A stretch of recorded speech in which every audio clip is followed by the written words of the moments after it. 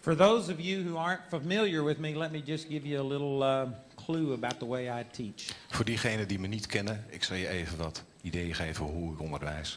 I tend to say things in a way that shocks people, Ik heb de neiging om dingen wat chockerend te vertellen.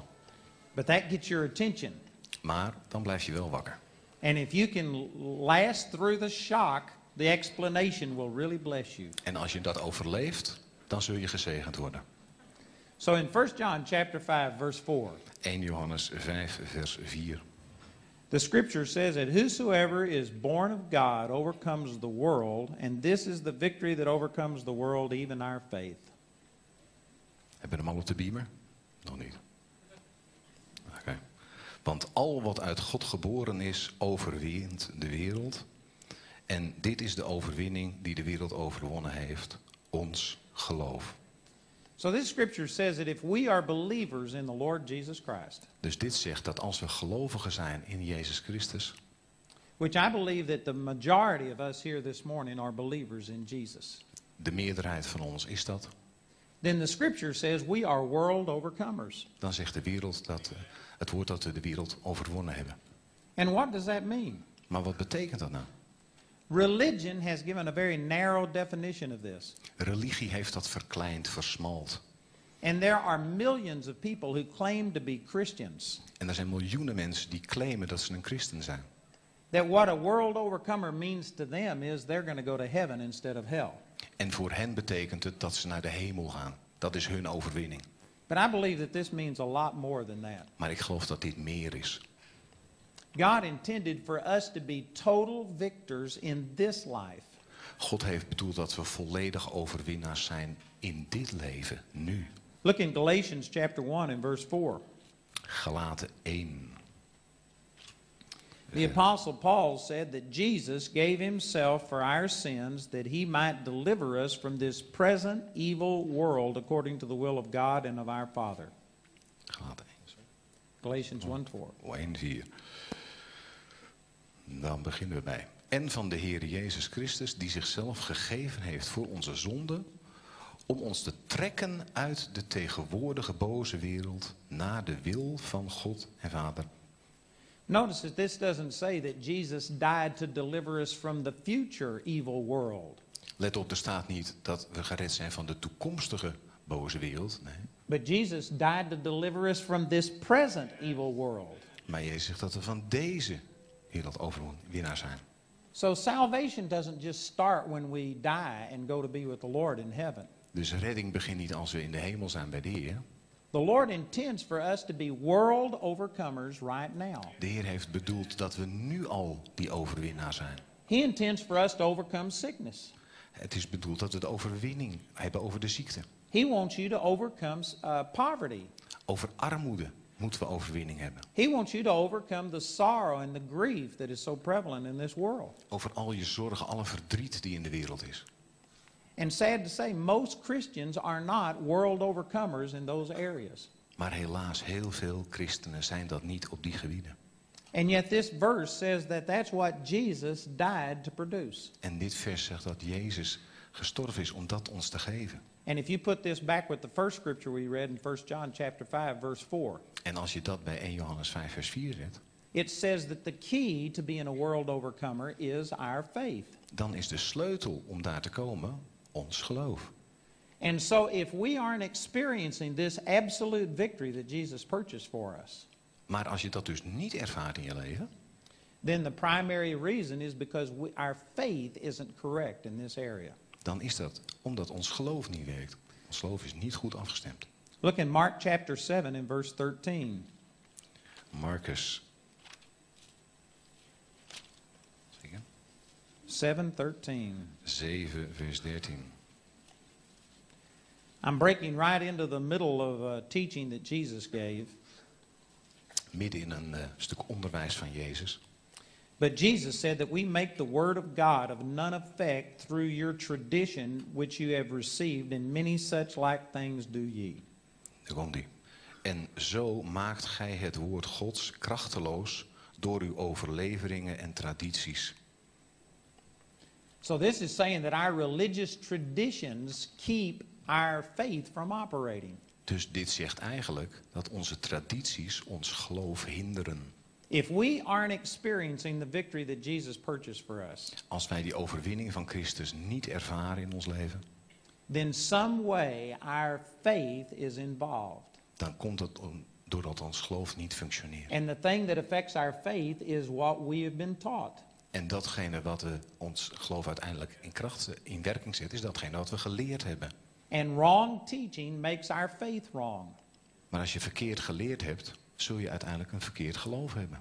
Proverbs 23 7 says Spreuken 23, vers 7 zegt: that the way we think in our heart is the way our life is going to go. De manier waarop je denkt in je hart, is uiteindelijk de manier waarop je leven zich zal voltooien en voltrekken. So if you don't like the results that you're getting, something is wrong with your thinking. Dus als je de resultaten in je leven niet echt leuk vindt, dan is er iets mis in je denken. Now, this is not the attitude that most Christians have. Helaas, veel christenen hebben die houding niet. When most Christians have a need in their physical body, Vele christenen, als ze een ziekte hebben in hun lichaam, what they do is go to God and pray and ask God to touch them. dan gaan ze naar God toe en dan vragen ze: Heer, wilt u me aanraken? They act as if God is the one who hasn't healed them yet. Ze reageren vanuit het standpunt als ze denken dat God het nog niet gedaan heeft. But the Bible reveals that God has already healed us. Maar in de Bijbel staat dat God het al gedaan heeft. 1 Peter 2:24 says we were healed, past tense. In 1 Petrus staat dat we al genezen zijn. And so it's not God that we need to plead with to move and heal our bodies. Dus we hoeven niet bij God te gaan smeken om ons te genezen. If you aren't experiencing victory in the area of health, Als je op het gebied van ziekte in je leven geen overwinning hebt, then we've got our thinking wrong someplace. dan is er ergens iets mis in ons denken. The traditions and doctrines of man have negated this world overcoming power God's given us. De tradities van mensen hebben uiteindelijk het woord van God krachtloos gemaakt. So let's go back to Galatians chapter 1. We gaan terug naar Galaten 1. Right after Jesus, I mean, uh, Paul said that we were supposed to uh, be world overcomers in this life. Naar het stukje waarin het Paulus zegt dat we overwinners moeten zijn in het leven wat we nu leiden. In verse 6, he starts saying that I marvel that you are so soon removed from the gospel of Jesus Christ. En in vers 6 zegt hij uiteindelijk: Het verbaast mij dat gij u zo schielijk van degene die u door de genade van Christus geroepen heeft, laat afbrengen tot een ander evangelie. And then in verse 7, he says it's not really a different gospel, but a perversion of the true gospel. En dan zegt hij eigenlijk even daarna van, nou ja, het is, het is, het is niet het... eh, eh, ik zal het even zeggen. Er zijn echter sommigen die u in verwarring brengen en het evangelie van Christus willen verdraaien. And I believe that this is exactly the situation with the body of Christ today. En dat is eigenlijk waarin het lichaam van Christus zich op dit moment bevindt. Most Christians believe that they know what the gospel is. Heel veel christenen denken dat ze weten wat het evangelie betekent. But we have been raised under a perversion of the gospel that has diluted the power of Christ. Maar eigenlijk is het heel vaak een verdraaid evangelie wat het ontkracht heeft. And I know that this is offensive to people. Het zal een aantal van u misschien choqueren. But I challenge you to look at your life. Maar ik daag u uit om naar uw leven te kijken. Are you overcoming in this world? Overwint u in uw eigen leven. If you aren't experiencing the victory that Jesus purchased for you, Als u die overwinning nu niet ervaart, then it's not Jesus who hasn't given you the power, dan is het niet, ligt de fout niet bij Jezus. but it's our thinking that has been polluted from the true gospel. Maar het is ons denken wat eigenlijk verdraaid is. And the answer isn't to plead with God more, En het antwoord is niet bidden en smeken. But the answer is to renew our mind to the truth of the gospel. Maar het antwoord ligt erin dat we ons denken moeten vernieuwen overeenkomstig het woord. Let's look in Galatians chapter 5. Galaten hoofdstuk 5. And I'm going to read some verses to you that you ought to read out of your Bible. Ik ga een aantal versen lezen die u mag lezen. You won't believe this is in the Bible if you don't read it. Misschien denkt u het staat niet eens in de Bijbel. Nou, let maar op. This is going to shock some of you. Een aantal van jullie zullen een shock krijgen nu. In Galatians chapter 5 verse 1, 5 vers 1. It says, Stand fast, therefore, in the liberty wherewith Christ hath made you free, and be not entangled again with the yoke of bondage. Daar komt hij. Ik begin even iets eerder. Opdat wij waarlijk vrij zouden zijn, heeft Christus ons vrijgemaakt. Houd dus stand en laat u niet weder een slavenjuk opleggen. Most people interpret this that we aren't supposed to go back into sin, Heel veel mensen denken dat hier staat dat we niet opnieuw in zonde moeten. that we need to be free from our adultery and drinking and uh, immorality. Dat we vrij moeten zijn van onze drank, onze overspel, dat soort van dingen. But if I had time to put this in its context, Maar als ik tijd zou hebben om dit in de context te plaatsen, you'd see that the liberty is talking about is freedom from religion. Dan staat het in een stukje waarin het gaat over vrijheid van religie. And the bondage that he's saying not to go back into is the bondage of the Old Testament law. En het slavenjuk is de oud-testamentische wet. And it is our religious traditions that have enslaved us. En het is die oude traditie die weer een slavenjuk opgelegd heeft. Religion is much more damaging than sin. Religie is schadelijker dan zonde. Now, these are some strong statements, but this is exactly what the Apostle Paul is saying. Maar dit is wel wat Paulus zegt. And in verse 2, he says, Vers 2.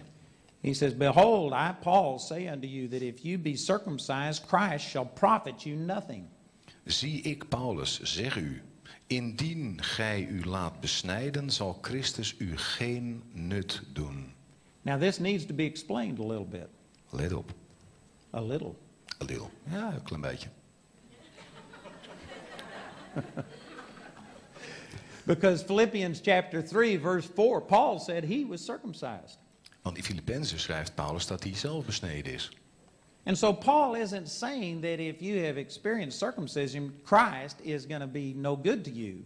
Dus hij zegt niet dat het je van geen nut zal zijn als je besneden bent. But he's talking about if your trust is in that religious action, then Christ is of no effect. Maar als je nog steeds denkt dat de kracht van je redding in die besnijdenis zit, dan mis je het. And today, circumcision isn't the big issue in the body of Christ. Wij, wij doen dat niet heel veel meer. But what this is talking about is doing something on your own to make you worthy in the sight of God. Maar waar het hier eigenlijk om gaat, is dat je iets doet opdat jij rechtvaardig zult zijn voor God. Today, we could talk about holiness. We kunnen over heiligheid nu praten. We could mention that you have to be baptized in water, Dat je gedoopt moet worden in water, that you have to go to church and pay your tithes. naar de kerk moet gaan, tiende moet betalen. And you could put all of those things in there. En die kun je daar allemaal voor in de plaats zetten. And you could say that if you are trusting that those things makes God love you more, then Christ is of no effect unto you. En als je denkt dat God daardoor meer van je gaat houden, heb je het volledig gemist. And I believe that this is the number one thing that is stopping the power of Christ from operating in Christians' lives. En dit is de, de, de grootste reden waarom de kracht van Christus niet openbaar is in ons leven. They are trusting in their own goodness. Ze vertrouwden op hun eigen kracht. And they believe that God only moves in their life when they deserve it. En ze geloven dat God alleen maar gaat werken in hun leven als ze het verdiend hebben. Now, don't look at me in that tone of voice. Denk even goed erom. Kijk, niet zo brutaal. Y'all are acting like who would believe that? Maar wie zou dat nou geloven? I believe you would. Jullie? Ja. I know some of you are thinking, oh, we aren't Americans like you. Velen van jullie denken van we zijn gelukkig geen Amerikaan. But religion is the same all over the world. Maar religie is overal hetzelfde. I have had thousands of people come up for prayer, Duizenden mensen zijn bij me geweest voor gebed. and they will say something like this En dan zeggen ze bijvoorbeeld: Why hasn't God healed me? Waarom heeft God me niet genezen? I fasted and I prayed and I've paid my tithes. Ik heb gevast en gebeden en mijn tiende betaald. And I study the Word and I do everything that I know to do. En ik heb het woord bestudeerd en ik heb alles gedaan wat ik kon And doen. they think that it's unfair that God hadn't healed them. En ze vinden het oneerlijk dat God hen niet genezen heeft. But when you say something like that, you're showing me what the problem is. Maar als je dat zegt, vertel je me eigenlijk al wat het probleem is. You haven't pointed to what Jesus did for you, Je hebt niet gewezen naar wat Jezus voor jou gedaan heeft, but you are pointing to what you have done for Jesus. maar je wijst op datgene wat jij gedaan hebt voor Hem. And as long as you think that you have to do enough to make yourself worthy, En als jij nog denkt dat je dat moet doen om waardig te zijn, then Satan will always convince you that you aren't good enough. dan zal Satan je altijd overtuigen dat je niet goed genoeg bent. And so people aren't really doubting that God has the power to do miracles. Dus mensen twijfelen er niet aan dat God de kracht heeft om wonderen te doen. They doubt that God will use his power on their behalf because they don't feel worthy. Maar ze twijfelen eraan of hij het wel voor hen wil doen. You know, I have seen people raised from the dead. Ik heb mensen uit de dood op zien staan. I've seen three people raised from the dead. Drie mensen. One of them was my own son, Eén was mijn eigen zoon and he was dead for five hours. en vijf uur was hij dood. And we called him back, and he came back to life with no brain damage. En we riepen hem terug in dit leven en hij had geen hersenbeschadiging. Hallelujah. See, most of you clap and you believe in that. Heel veel van jullie klappen en jullie geloven dat ook nog. If you didn't believe in miracles, you wouldn't be at this conference. Als je niet in wonderen zou geloven, zou je hier ook niet zijn. You're either a fanatic or you were drugged here by a fanatic. Of je bent een fanatiekeling, of je bent aan je haren hier naartoe meegesleurd. And so if somebody fell dead here today, Dus als iemand hier naar dood zou vallen and I said, I'm going to pray for them and we're going to see this person raised from the dead. en we gaan bidden voor Bert. And if I said, How many of you believe that God can do that? En als ik aan jullie vraag, wie van jullie gelooft dat? Most of you would raise your hand and praise God and say, I believe God can do those miracles. De meeste van jullie zouden hun hand opsteken en zeggen, ja, amen, dat geloven we. Toch? But where I would lose most people is when I say, All right, you come up here and pray for them. Maar het wordt pas stil als ik ga zeggen van, oké, nou mag jij het doen. And many of you who believe that God could raise them from the dead, En velen die denken dat God mensen uit de dood kan opwekken. and you wouldn't have any problem if I was the one doing the praying. En je zou er ook geen probleem mee hebben als hij zou bidden daarvoor. When I say you come up and pray for them, all of a sudden your faith turns to fear. Maar als ik ga zeggen van, ga jij het nu doen? Dan slaat je geloof om in angst. And your enthusiasm turns to dread. En je enthousiasme wordt heel klein. Now, what happened? Wat gebeurt er dan? Did you quit believing that God can do a miracle? Ben je gestopt te geloven dat God een wonder kan doen? Nee, No, you still believe that God can do the miracle. je gelooft dat nog steeds. But when it comes to you praying, you don't feel worthy. Maar als het op jou aankomt, dan ga je twijfelen. You might believe that God will do it for me, Je denkt dat God het wil doen voor Andrew. but that's because you know you better than you know me. Maar dat komt omdat je jezelf beter kent dan dat je hem kent. If you knew you as well as you know me, you wouldn't have any more faith in my prayers than you have in your prayers. Als je hem net zo goed zou kennen als jezelf, zou je net zoveel geloof hebben. But see, we think preachers are just somehow or another holier than everybody else. Maar we denken altijd dat wij heiliger zijn. Dat de predikers heiliger zijn. But the truth is, God never has had anybody that was worthy of Him answering their prayers yet. Maar er is nooit iemand geweest die waardig was dat God zijn of haar gebed zou beantwoorden. God doesn't just use the people who are worthy. God gebruikt niet mensen die waardig zijn. Because the truth is, none of us are worthy. Want de waarheid is, niemand van ons is waardig. And some of you might think, oh, I'm, I'm worthy. Misschien denken sommigen van jullie, ja, maar ik wel. But you aren't. Sorry. You might be better than you've been in the past, but you still aren't perfect. Misschien is er wat verbetering ten aanzien van het verleden, maar je bent er nog niet. We all need the grace of God. We hebben allemaal de genade van God And nodig. this is what Paul is talking about. En hier heeft Paulus het over. He says, if I trust in these religious things I do, then Christ has become of no profit to me. Als ik geloof, mijn geloof hecht aan die religieuze handelingen, dan is het offer van Christus nul waard. And this is where many, many Christians find themselves. En dat is de positie van veel christenen. They believe that God can do these great things, Ze geloven dat God de dingen kan doen, but they aren't experiencing it themselves because their own heart condemns them. maar ze ervaren het niet omdat hun eigen hart hen veroordeelt. And if you are linking what God can do to your goodness, you negate God's power. En als jij de verbinding legt tot wat God kan doen aan je eigen waardigheid, je eigen goedheid, zal er niks gebeuren. The next verse goes on to say, Volgende vers. For I testify again to every man that is circumcised that he is a debtor to the whole law. Zie, ik Paulus.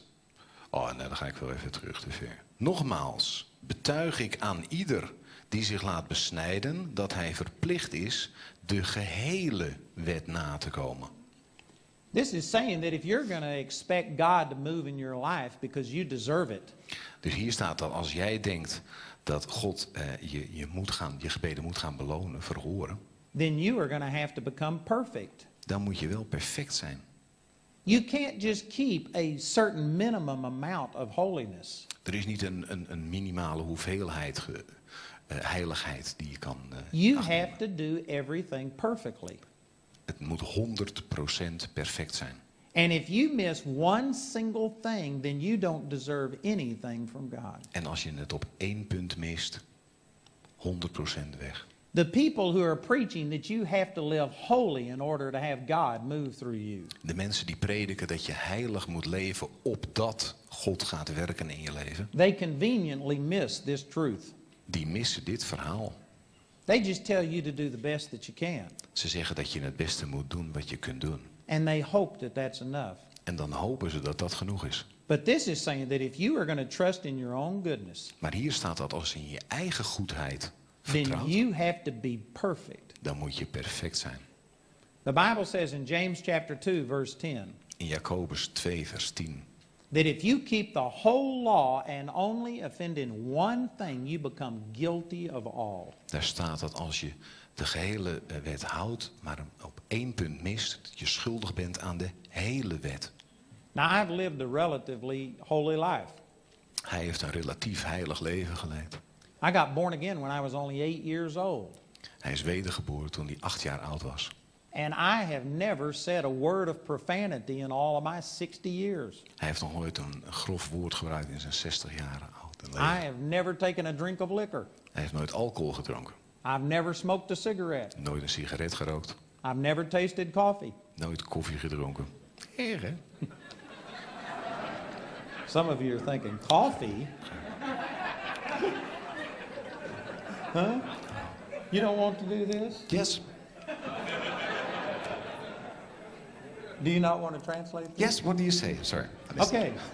Some of you are thinking, coffee? What's wrong with coffee? Sommigen van jullie denken misschien, wat is er mis met koffie? Niks. There's nothing wrong with coffee. Niks. Helemaal niks. You've got a scripture that says you can drink coffee. Er is zelfs een, een bijbelgedeelte wat zegt dat je koffie mag drinken. Mark chapter 16, verse 18 Marcus 16, vers 18. says you can drink any deadly thing and it shall not harm you. Er staat dat je koffie mag drinken. Amen. So it's okay for you to drink coffee. Dus het mag. But I'm just saying, I've lived a very holy life. Hij heeft een heel heilig leven geleid. And yet, who wants to be the best sinner that ever went to hell? Maar wie van jullie wil de beste zondaar zijn die ooit naar de hel zou gaan? It says if I miss it in one point, I become guilty of breaking all of the laws. Er staat, als ik het op één punt mis, ben ik schuldig aan alles. According to that scripture, I'm guilty of homosexuality.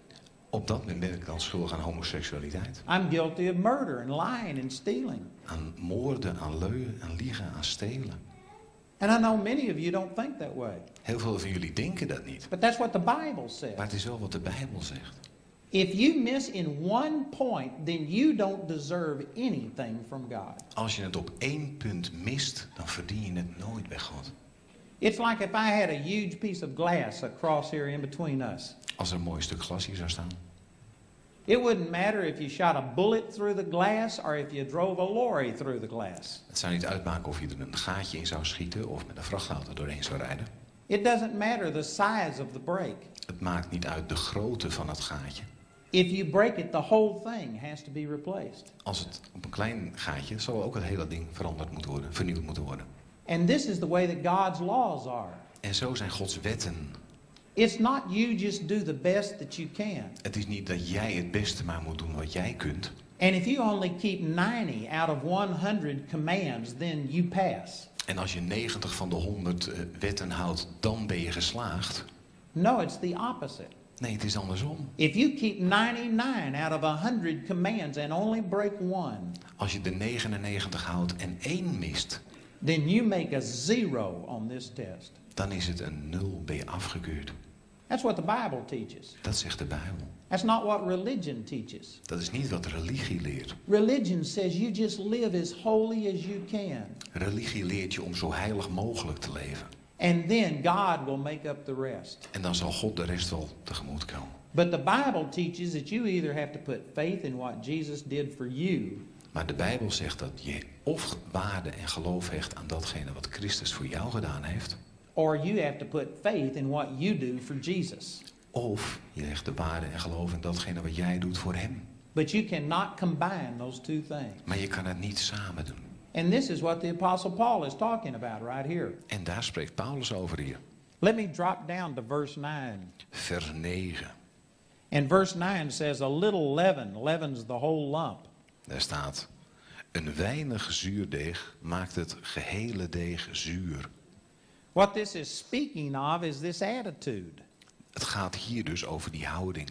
You can't just believe that God has to have mercy on you, Je kunt niet geloven dat God maar genadig moet zijn voor but je. then you also have to be holy enough to earn God's favor. En dat jij dan ook nog een keer heilig genoeg moet zijn om dat te gaan You verdienen. can't combine those two Je kan geen combinatie maken. If you have even a little bit of thinking that you have to earn the favor of God, Als je nog maar een klein beetje denkt dat je het moet verdienen bij God, then that's like leaven, that a little bit of leaven will leaven a whole lump of bread. dan is dat wat hier staat, dat zuurdeeg, wat het hele brood zuur maakt. Just a tiny bit of thinking that you have to earn God's favor will pollute your faith. Een heel klein beetje van die gedachten zullen uiteindelijk je geloof vergiftigen.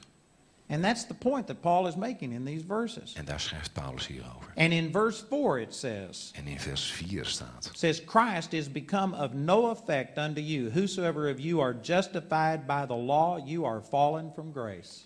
Gij zijt los van Christus als gij door de wet gerechtigheid verwacht. Buiten de genade sta je.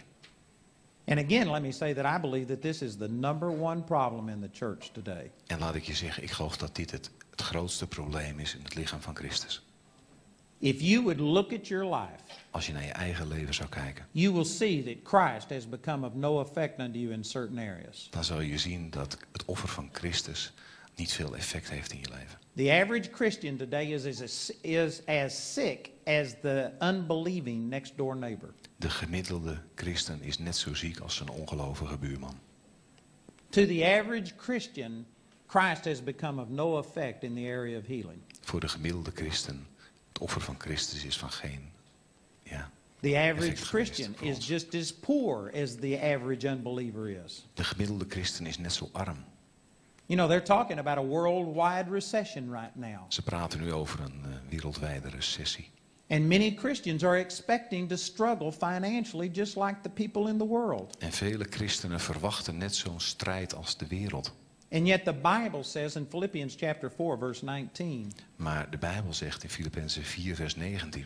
that God will supply all of my need according to his riches in glory by Christ Jesus. dat God voorziet naar de rijkdom in Christus, naar zijn. We shouldn't have the same financial problems that the world has. Wij hoeven dat niet te hebben. And yet there are many people sitting right in this auditorium who have struggled financially because of what's happening in the world. Maar vele van mensen hier zitten, die hebben ook die moeite die de wereld nu heeft. You believe that Christ is of no effect to you in that area. Je gelooft dat het offer van Christus geen effect heeft op dat gebied. And that's wrong. En dat is niet goed. You know, I don't say these things to brag, Ik zeg het niet om op te scheppen. but I'm saying this to validate what I'm preaching. Maar ik zeg omdat ik de waarde wil hechten aan datgene wat ik predik. Since we entered into this worldwide recession, Sinds de recessie van een paar our finances have been the biggest that they have ever been. zijn onze inkomsten alleen maar gestegen. We have set a record in income month in our ministry every month since October. Sinds oktober is het elke maand zijn de inkomsten van onze bediening omhoog gegaan. In the United States, the stock market has gone down over 40%. In Amerika is de aandelenmarkt eh, 40% naar beneden gegaan. But my wife and I's personal finances in the stocks have gone up 61%. Maar onze aandelen zijn 61% omhoog gegaan. And somebody says, You can't do that. En velen van jullie zullen zeggen, ja, maar dat kan helemaal niet. You can if you believe God. Je kan als je Gods woord gelooft. The Lord came to set us free from this present world, De Heer is gekomen om ons vrij te maken van deze wereld. not just the one to come. En niet die wereld die komen gaat. But see, we have thinking that has made Christ of no effect in our life. Maar we hebben een denken wat Christus ineffectief gemaakt heeft in ons leven. And so we don't need to plead with God and beg Him to bless us. Dus we hoeven niet te bidden en te smeken om ons, eh, dat God ons gaat zegenen. The Bible says in Ephesians chapter 1 verse 3, In Efeze 1 3, 1 vers 3. That we have already been blessed with all spiritual blessings in heavenly places. Daar staat dat we al gezegend zijn met elke geestelijke gave. God has already commanded these blessings to come upon us. God heeft al bevolen dat die zegeningen naar ons toe zouden komen. But our religious traditions and doctrines of man are negating the power of Christ in our life. Maar ons religieus denken ontkracht dit alles. And the number one thing that does that is our own self righteousness. En onze eigen rechtvaardigheid draagt daar mede toe bij. Believing that we have to be good enough to earn the favor of God. Geloven dat we goed genoeg moeten zijn opdat God ons gaat zegenen. I want to share a little bit of my testimony with you to illustrate what I'm talking about. Ik zal een klein beetje van mijn leven delen. I got born again when I was eight years old. Ik ben wedergeboren toen ik acht jaar was. And I immediately just immersed myself into church. En op, ik stortte me helemaal in het kerkleven. And I began to do everything that they told me to do. En alles wat ze van me vroegen deed ik. I lived as holy of a life as I possibly could. Heiliger was er niet. And yet I never saw the power of God released in my life. Maar ik zag nooit de kracht van God in mijn leven. My father died when I was 12 years old. Mijn vader stierf toen ik twaalf was. And I spent six months praying that he would be healed. En ik had zes maanden gebeden dat hij zou genezen. And yet Christ was of no effect to me in that area. Maar het offer van Christus was niet effectief. I didn't see any more results than an unbeliever would have seen if they were praying for their father. Ik zag geen enkel verschil tussen mijn gebed en het gebed van een ongelovige. I prayed and asked God to help me emotionally. Ik vroeg God om me emotioneel te helpen. And yet I was messed up in my emotions. Maar ik was compleet in de war in mijn I was a emoties. complete introvert. Ik was een ontzettend introvert. I couldn't look at a person in the face and talk to them. Ik kon mensen niet recht aankijken en tegen ze praten. It would have been physically impossible for me to stand in front of a group like this. Het zou voor mij onmogelijk geweest zijn om hier te staan. I was afraid of people. Ik was bang voor mensen. Christ was of no effect to me in that area. Christus was niet effectief in mijn leven. And you could just go right on down the list. En zo heb ik een hele lijst. Financially, I wasn't seeing great results in my life. Financieel geen geweldige resultaten. I was sick, just like anybody else was sick. Ik was net zo ziek als de anderen. And it was all because I was trusting in my goodness. En dat kwam allemaal omdat ik vertrouwde op mijn eigen goedheid. And I was living a better life than anybody else that I knew. En ik leefde een beter leven dan de meesten die ik kende. I was living holier than most of the preachers that came to our church. Ik leefde heiliger dan de gemiddelde voorganger, een prediker die kwam bij ons. It's true. Echt waar. But I was trusting in my own goodness. Maar ik vertrouwde op mijn eigen goedheid.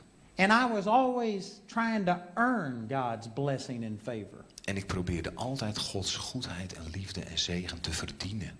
And regardless of how hard I tried, I always came up short. En hoe hard ik het ook probeerde, ik miste het toch. And if you're really listening to me, En als je naar me luistert, many of you ought to be relating to what I'm saying. dan moet dit herkenbaar zijn. Because this is where the average Christian lives. Want dit is waar de gemiddelde christen ook staat. They believe that God can do things. Ze geloven dat God dingen kan doen, They just doubt his willingness to do it because they know they aren't worthy. maar ze twijfelen eraan of hij het wel wil doen voor hen. And that's where I lived. En dat is waar ik was. But then on March the 23rd, 1968, Maar op 23 maart I had a miraculous 86. encounter with the Lord. Had hij een geweldige ontmoeting met de Heer. And I was in a prayer meeting. Ik was in een gebedssamenkomst. And God just revealed to me what a religious hypocrite I was. En God liet me zien wat een visie hypocriet ik was. Now, I was already born again. Nou was ik wel opnieuw geboren al. If something would have happened and I would have died, I would have gone to be with the Lord. Als ik gestorven zou zijn, was ik naar de hemel gegaan.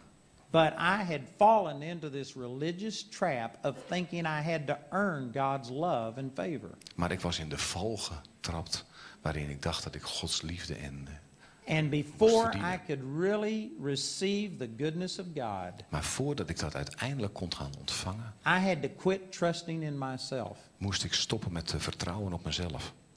And so it's like God pulled back a curtain that had blinded my eyes. En God haalde het gordijn weg wat mijn ogen verblind had. And in just a moment's time, He showed me that I was a total religious hypocrite. En in een, een seconde van tijd liet hij me zien wat voor een totale hypocriet ik was. He showed me attitudes in my heart that I didn't even know were there. Hij liet me gedachten en hartsgesteldheden zien die, waarvan ik niet eens wist dat ik ze had. And I saw myself from God's standpoint, just looking on the outer person. En ik zag me vanuit Gods standpunt. And I was totally devastated. En ik was compleet verloren. I had no idea that I was a religious hypocrite. Ik had geen flauw benul van wie ik was. And I had the pastor of the church and all of the religious leaders of my church in that prayer meeting. En al mijn kerkleiders die waren in die gebedssamenkomst. And I started confessing all of this sin out loud to the Lord. En ik begon al mijn zonden te beleiden aan God. And I prayed for over an hour and a half. En dat duurde anderhalf uur. And I just turned myself inside out. En ik heb mezelf helemaal geleegd. And I confessed things that I didn't even know were wrong just a few minutes before. En ik beleed dingen waarvan ik niet eens wist dat ze er waren en dat ze verkeerd waren. I completely ruined my reputation. Mijn reputatie was vanaf dat moment weg. I was being convicted over the jealousy and the, the self righteous attitude I had. Ik werd overtuigd van jaloezie en zelfrechtvaardigheid die ik had. And I spoke out loud what I had thought about other people, their relative unworthiness. En ik sprak uit wat ik over anderen had gedacht. And I just totally ruined any reputation that I ever had. Dus de enige reputatie die ik ooit had was weg op dat moment. And at that time, I was taught that God related to us based on how well we performed. En op dat moment werd mij geleerd dat God zich relateerde, een verhouding met al had, op basis van wel hoe wij het deden. And when I became aware of how terrible my religious performance was, En toen ik erachter kwam hoe slecht mijn, ja, I fully was. expected God to kill me. verwachtte ik dat God me zou doden. I know some of you think that's a joke, but that's what I believed. Dat geloofde hij toen echt. I thought God was going to strike me dead that night. Er zou op dat moment vuur komen uit de hemel. And right before he killed me, I was going to mention every sin I could think of. En, en, sorry. Right before he killed me, I was just going to mention all of the sins that I could think of. En net voordat die vlam zou komen, zou ik alles nog net kunnen beleiden wat ik fout had gedaan. In hopes that if I mentioned them, God would still let me into heaven. In de hoop dat God het dan nog net binnen zou laten. And here's what changed my life. En nu komt wat mijn leven veranderen. After I had spent an hour and a half talking about how vile and unworthy I was, Na die anderhalf uur vertellen van hoe onwaardig ik was, I just threw myself on the mercy of God and said, Lord, have mercy on me. zei ik, Heer, wees genadig. And a supernatural love of God flowed over my life. En een bovennatuurlijke kracht van God overspoelde me op dat moment. This is what I'd been seeking for for 10 years. Daar had ik naar gezocht, tien jaar. I had been looking for something that would make God's power and love flow in my life. Ik had gezocht naar een manier waarop uiteindelijk Gods kracht en liefde zou gaan stromen in mijn leven. And I thought it would come if I just read the Bible more, or pray more, or go to church more. En ik dacht dat het zou komen als ik de Bijbel meer zou lezen, of meer zou bidden, of meer naar de kerk zou gaan.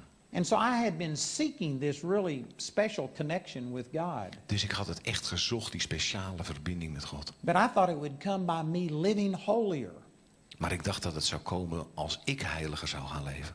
And all of a sudden, when I completely just threw myself on the mercy of God and said, God, have mercy on me, Maar toen ik mezelf overgaf aan de genade van God en zei, Heer, wees mij genadig. Then I experienced this supernatural love of God flowing through me. Toen pas kon die liefde van God gaan stromen. And for four and a half months, I was just gone someplace. En voor 4,5 maand, ik was er wel, maar ik was er niet. As a matter of fact, it was during that time that I came to Amsterdam for the first time. En in die tijd ben je voor het eerst in Amsterdam geweest.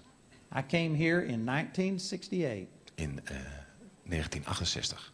And I was just so in love with God that I didn't care about anything else. En ik was zo verliefd met God, dat het maakte me niks uit allemaal. Everybody else on the tour was looking at all of the sights, and I was just loving God. En iedereen keek rond in Amsterdam en ik was alleen maar verliefd op de Heer. I experienced a tangible love of God for over four months, Ik ervoer een tastbare liefde van God voor vier maanden. And it totally changed my life. En het veranderde mijn leven volledig. But it also turned my life upside down Maar het zette ook mijn hele leven op zijn kop.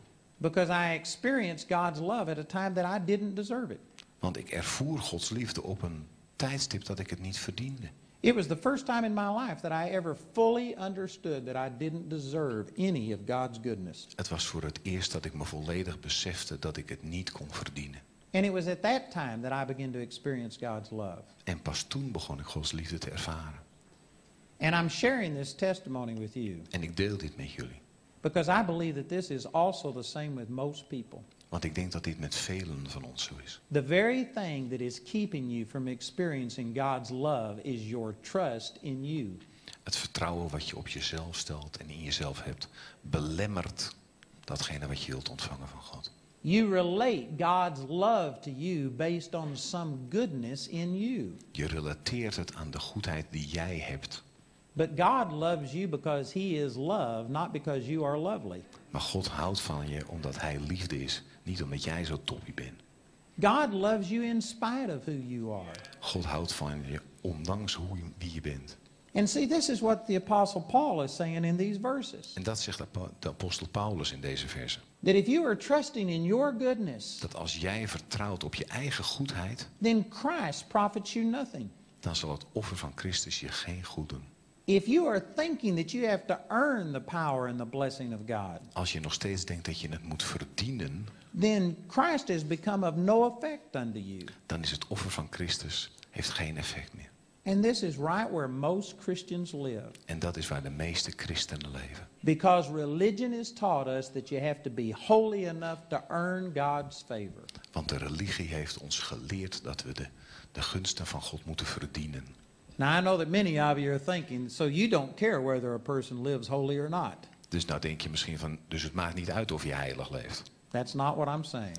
Dat zeg ik niet. A Christian should live a holy life. Een christen moet heilig leven. But your holiness is a fruit and not a root of salvation. Maar heiligheid is een vrucht en geen wortel van je redding. It's the byproduct of relationship with God. Het is het bijproduct van je relatie met God. If a person is saying that they know God, Als iemand zegt dat hij God kent, and yet all of their actions are completely against everything that God tells us to do, maar zijn acties zijn precies tegenovergesteld aan datgene wat God vraagt, then that person is lying. dan liegt hij. The Bible says if you truly know God, it will reflect itself in your life. Het woord zegt dat als je echt van God houdt, dan zal dat zich uiten in jouw leven.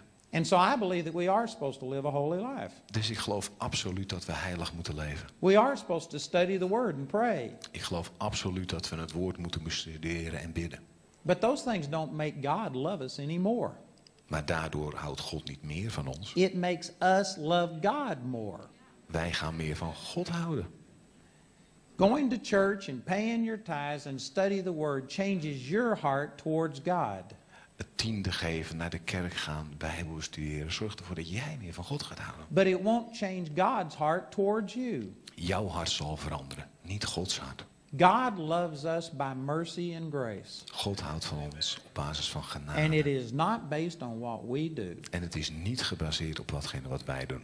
Most people believe that they have to go to church to please God. De meeste mensen denken dat ze naar de kerk moeten gaan om God te behagen. But the Bible says faith is what pleases God. Maar het woord zegt, geloof is hetgene wat God behaagt. If you never went to church again, God would love you exactly the same. Als je nooit meer naar de kerk zou gaan, zou God nog steeds evenveel van je houden. But you wouldn't love God the same. Maar jij zou minder van God gaan houden. You need to be around people who are speaking the Word of God and people who share your values. Je moet bij mensen zijn die het woord van God spreken en die dezelfde waarden hebben. So going to church helps you, Dus naar kerk gaan helpt jou. but it doesn't help God love you anymore. Maar het zorgt er niet voor dat God meer van jou gaat houden. God doesn't love you more if you go to church, and He doesn't love you less if you don't go to church. Hij houdt niet meer van je, maar hij houdt ook niet minder van je als je naar de kerk gaat. But if you don't go to church, you're stupid. Maar als jij niet naar de kerk gaat, ben je toch wat Because, simpel. Because your heart will be hardened towards God. Want uiteindelijk zal je hart zich verharden naar God toe. But what I'm trying to say is, God loves you, stupid. Maar wat ik je ook niet vertellen, God houdt wel van je stommeling. And once you understand this, it will help you to receive the love of God. En als je dat gaat begrijpen, kan je van God gaan ontvangen. And then you will go to church and study the Word because you love Him, not because you're trying to earn something from Him. Want dan zal je het woord gaan bestuderen omdat je gaat beseffen dat hij van je houdt. This would change your life if you can understand what I'm saying. Het zal je leven compleet veranderen als je dit begrijpt. This is what happened to me. Dit gebeurde er met mij. And during my other two sessions, I'm going to begin to start sharing with you some things that'll help you to understand this more. En in de volgende twee sessies zal ik het eh, wat verder gaan uitbreiden.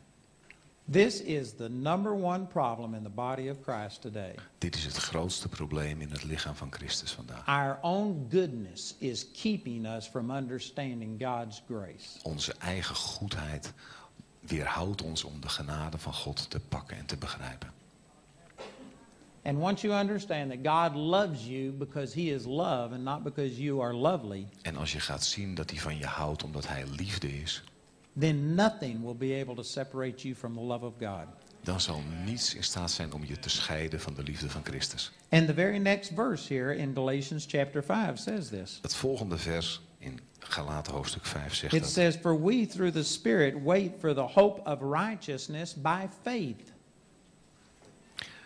Dat staat bij ons iets anders. Ik zeg het vanaf eh 6b. Want in Christus Jezus vermag nog besnijdenis iets, nog onbesneden zijn. En dan krijg je het.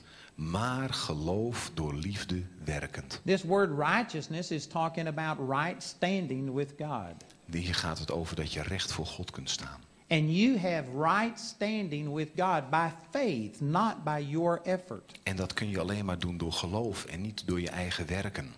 And then in verse 6 it says, En in vers 6. For in Jesus Christ neither circumcision availeth availeth anything nor uncircumcision, but faith which works by love. Ik was te vroeg. Ja, dat gaat hè. Hij was te vast. Ik zal hem even helemaal doen. Want immers verwachten door de geest uit het geloof de gerechtigheid waarop wij hopen. Want in Christus Jezus vermag nog besnijdenis niets, nog onbesneden zijn, maar geloof door liefde werkend. That means that your holiness nor your unholiness has anything to do with your relationship with God. Dus je heiligheid of je niet heilig zijn heeft niks te maken met je relatie met God. The only thing that en- enables you to have a relationship with God is faith, which works by love. Het enige waardoor je die relatie met God zult hebben is geloof door liefde werkend. So now you could go back and put this with the first scripture that we used. En nou kan je het bij het eerste versgedeelte zetten wat we gebruikten. 1 John chapter 5 verse 4 1 Johannes 5 vers 4. says whatever is born of God overcomes the world. Ik zal hem verlezen. You can just quote that. Whatever is born of God overcomes the world. Datgene wat uit God geboren is, zal de wereld overwinnen. And this is the victory that overcomes the world, even our faith. En dit is de overwinning, ons geloof. Faith is what comes causes us to be a world overcomer. Geloof zorgt ervoor dat we de wereld overwinnen. It's your faith in Jesus that causes you to receive the miraculous healing power of God. Het is het geloof in Christus wat ervoor zorgt dat je het zult ontvangen. It's your faith in Jesus that causes you to prosper while the world is not Het prospering. is je geloof in Christus wat er zult zorgen dat het je goed gaat in de wereld. It has nothing to do with all of your goodness. Het heeft niets te maken met jouw goedheid. All of these things come as a gift from God. Alles komt als een gave, een And you have van to God. learn to humble yourself and receive it as a gift. En jij moet gaan leren om jezelf te vernederen en het zo te gaan ontvangen. With myself, my own self righteousness was the blockage between me and God. Mijn eigen zelfrechtvaardiging was de blokkade tussen God en mij. And you know, my self righteousness was better than most of your self righteousness. En mijn rechtvaardigheid was beter dan de meeste van jullie. I was living a holier life than most of you have ever thought of living. Ik leefde een heiliger leven dan de meeste van jullie. And yet it wasn't good enough for me. Maar het was niet goed genoeg voor mij. It never got me the things that I needed. Het zorgde er nooit voor dat ik uiteindelijk datgene ging ontvangen wat ik nodig had. And so if I was living better than you and it wouldn't work for me, En als ik dus beter leefde als jullie en het werkte al niet voor mij, then I can just promise you that whatever goal you've set for yourself isn't going to work for you either. dan kan ik je verzekeren dat datgene waar jij je doelen gesteld hebt ook niet zullen werken voor jou. You will never earn God's favor. Je zult het nooit kunnen verdienen. But if you will just surrender and say, Oh God, have mercy on me. Maar als je jezelf overgeeft en zegt, Heer, wees genadig. And if you will receive this world overcoming power as a gift, En als je die kracht gaat ontvangen als een cadeau, then you'll see the power of God begin to operate in your life. dan pas zul je gaan zien dat die kracht van God openbaar wordt in je leven. It's as simple as what I've described here this morning. Moeilijker is het niet. But one of the hardest things you'll ever do is disconnect your relationship with God from your goodness. Maar het is het allermoeilijkste om je eigen performance, je eigen werken los te koppelen van de genade van God. Religion has chained our thinking to our own goodness. Religie heeft dat verbonden aan ons eigen werken. And we've got to unchain it. En wij moeten dat We've got to verbreken. break those chains. We moeten die ketenen verbreken. And during my part of this conference, En in mijn deel van deze conferentie this is what I want to do is share truths with you that will set you free from your own wil ik self-righteousness. graag deze waarheden met jullie delen. Amen.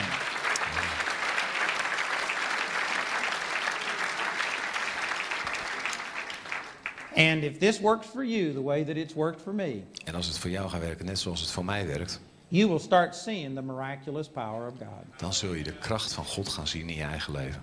In just the last 10 days, we've seen four or five people healed of multiple sclerosis. De laatste Four ten, or four, 10 Tien- days, we've seen four or five people tien healed. dagen zijn vier, vijf mensen genezen van MS. We've had blind eyes open. Ogen van blinden gingen open. We had a person that their eye was glazed over so that there was no pupil. Wauw. Er was iemand met een oog en dat was helemaal compleet bedekt, waardoor je de pupil niet eens meer kon zien. And they began to see perfectly through that eye. En uiteindelijk konden ze weer zien. And then we prayed that the pupil would come. En toen baden we dat de pupil er weer terugkwam. And this cover that was over their eye disappeared. En die bedekking die er was, die verdween. In the last month, we've had about five or six people come out of wheelchairs. Laatste maand vier, vijf mensen die uit een rolstoel opstonden weer. And I'm saying all of this to show En ik zeg jullie dit, that this is the results of doing things by faith instead of by your own goodness. dat dit het gevolg is van dingen die je doet in geloof en niet op basis van wat je zelf kunt doen. Most people think that when a person sees miracles happen through them, you must be holy. De meesten van ons denken dat als er wonderen gebeuren, diegene wel heilig zal moeten zijn. But that's not the case. Maar dat is niet zo.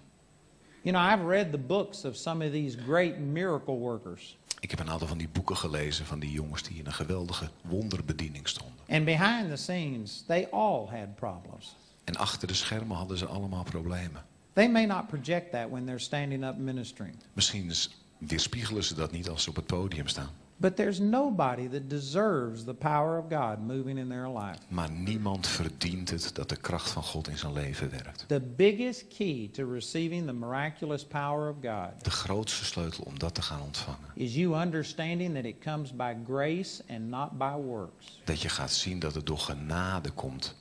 You have to be praying in the name of Jesus and not in your own name. Je moet bidden in de naam van Jezus, niet in je eigen naam. And I'm promising you, brothers and sisters, this is going to make a huge difference in your life. En ik verzeker je, dit zal echt een ommekeer geven in je leven. So I would like to give an invitation for two things this morning. Ik wil heel graag een uitnodiging doen voor twee dingen. If there's anyone here who is trusting in your own goodness for salvation, Als er iemand vertrouwt op zijn eigen goedheid voor zijn redding. if you are thinking that if I will just be a good person, then God will accept me, Als je denkt van ik ben een goed persoon en daardoor zal God me accepteren. then I'm telling you that your goodness will never be good enough for God to accept you. Dan zal ik je verzekeren dat jouw goedheid nooit goed genoeg zal zijn.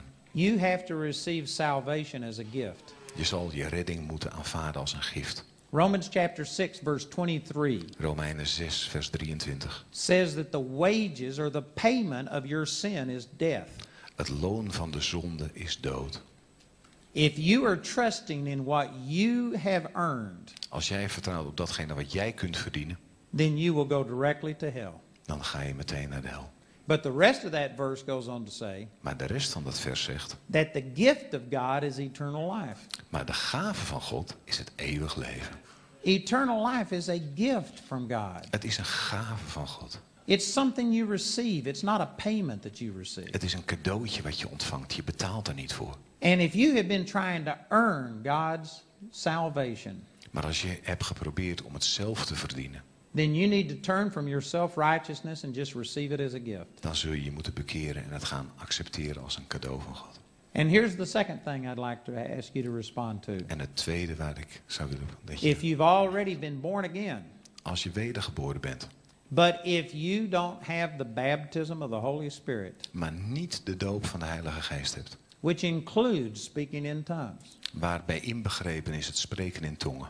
there's more to it than just speaking in tongues. Er is meer nog dan alleen het spreken in tongen. But that is a part of receiving the baptism of the Holy Spirit. Maar dat is een gedeelte wat er wel bij hoort bij het ontvangen. And so if you don't speak in tongues, you need to receive that also. En als je dat niet doet, dan moet je dat wel ontvangen. Jesus said that his disciples would receive power when the Holy Spirit came upon them. Jezus zei dat de discipelen kracht zouden ontvangen als de Heilige Geest over hen kwam. And my personal life was changed more through receiving the Holy Spirit than it was through receiving the gift of salvation. En mijn leven werd meer veranderd door het ontvangen van de Heilige Geest dan door de, de bekering. Salvation is essential. Bekering is essentieel. You have to be born again. Je moet wedergeboren zijn. But as far as you experiencing this overcoming life, the baptism of the Holy Spirit is essential also. Maar om die andere dingen te gaan verkrijgen, is die eh, doop in de Heilige Geest zo belangrijk. And somebody's thinking, I believe you can go to heaven without the Holy Spirit. En sommigen van jullie denken, je kunt naar de hemel gaan zonder de doop in de Heilige Geest. I believe that you can too. Dat geloof ik ook. But why would you want to? Maar waarom zou je dat nou willen? That's crazy. Niet slim. You need the power of the Holy Spirit in your life. Je hebt die kracht van God nodig in je leven. You can go to heaven without the Holy Spirit. Je kunt naar de hemel gaan zonder de Heilige Geest. In fact, you'll probably get there quicker Waarschijnlijk ben je er nog eerder ook. because you aren't going to have any power to live this victorious life. Want je zult die kracht niet hebben in je leven om die overwinning te leven. You'll get killed by some sickness. Je wordt misschien verslagen door een ziekte. Gedood. But if you'll receive the Holy Spirit, it'll give you power. Maar als je de Heilige Geest ontvangt, ontvang je die kracht. And the Holy Spirit will begin to reveal these truths unto you. En de Heilige Geest zal dan die waarheden gaan openbaren aan je.